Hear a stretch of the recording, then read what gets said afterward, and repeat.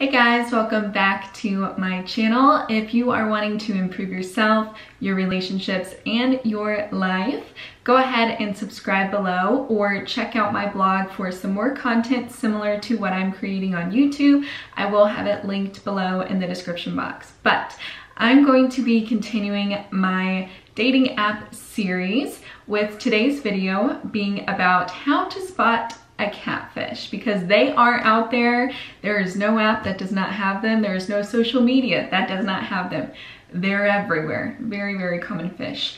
So we're just gonna go ahead and get into it. The first few things we're gonna go over are things to look out for before you even engage with this person, before you even swipe right, before you even accept their message request, before you even respond. Um, because they're dead giveaways for a catfish. And the first one is if they only have one picture.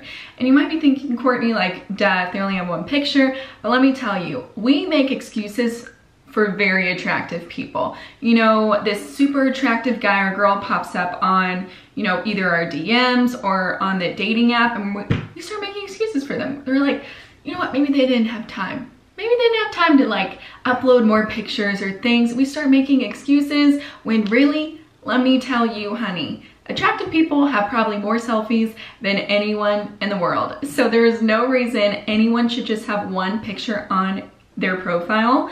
Also, little self-promo plug. If you are wondering what kind of pictures to include on your dating app, go ahead and click the little card above. Check out that video, very, very helpful.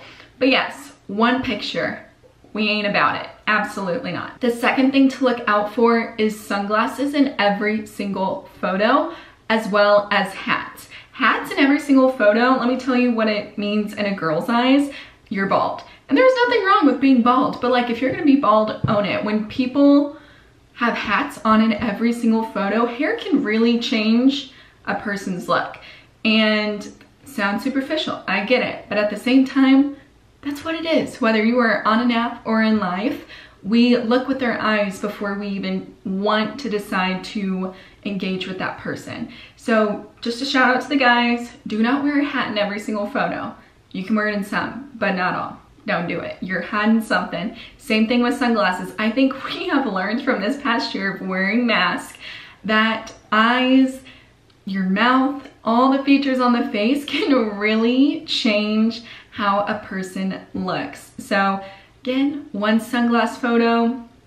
I mean, if you want, I don't even think you need to put any sunglass photos because it just, it's like, it's not even you. You know what I mean? So I would say no sunglass photos, but hat photos, every now and then, whatever. So moving on to the next thing to keep an eye out for are pictures that are either all in black and white or all filtered. So whether they have like a funny filter on there or like the like pretty nose contouring filter, I think Snapchat does it, that person you just need to swipe on. Left, not right. Do not engage. I repeat, do not engage with the filter people, okay? Because what you see in person is gonna be quite different than what you saw in their pictures. So this is kind of a tip for people that are maybe sliding into your DMs on social media, not so much a dating app, is if they have under, I would say 80 followers, they're probably not real. And the reason why I say that is I'm not a big social media person to begin with, and I still have over 100 people that I follow on social media. However, if they have under 80, most of them are probably gonna be like cat accounts or like different spammy, maybe celebrity accounts, but they're probably not real. So just keep an eye out for that. If someone super attractive tries to follow you, check out who they're following. And if it's like no one that's real or unverified, probably not real themselves. So I shouldn't even have to say this one, but it still happens. If a celebrity reaches out to you and they are not verified, Honey, it's not that. They did not make a Finsta or some kind of fake account to reach out to you. They are not real. It honestly hurts my heart that people are still falling for this. But this also brings me to my next thing, which is we all know kind of where we stand on the attractiveness scale. And if you are like maybe a four or five and a 10 reaches out to you, something's a little fishy. That's because we tend to find people and date people and marry people that are around our attractiveness level. Obviously, there are those outliers out there where it's a 10 with a 2 and that happens and there's probably some kind of exchange theory. We'll go into dating theories and what exchange theory is in another video. But if someone really attractive tries to reach out, if it's too good to be true, it probably is. So the last thing I wanna mention before we get into the detective skills that you might need is if they're, all of their photos look professional, they probably are. And I don't, like the people in the photos are probably models themselves, but the person behind the profile is probably not. So just another thing to look out for. Um, but now getting into kind of the detective skills. I would do this with any single person I was going to meet up with. I would either try and find them on Facebook. I think LinkedIn is another good option. I never used it because I never personally was a big LinkedIn person, but Facebook is an oldie, okay? That is like one of the original social medias. And with that being said, everyone has one. Almost everyone has one. There were very few cases that I ran across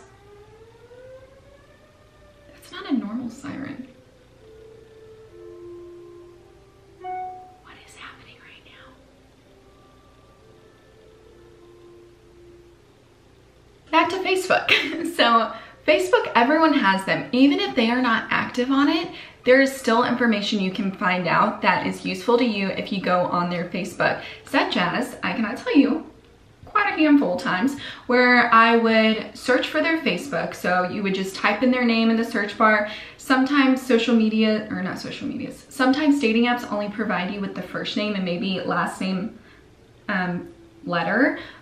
But if you know information such as their hometown or maybe what college they went to or even where they work, which it is kind of creepy how much info we freely put out to the public, but anywho, better for you and you're investigating, you can just type that in to Facebook. Go to search bar, type in maybe their first name, and then under the filter, put their hometown um, or their college.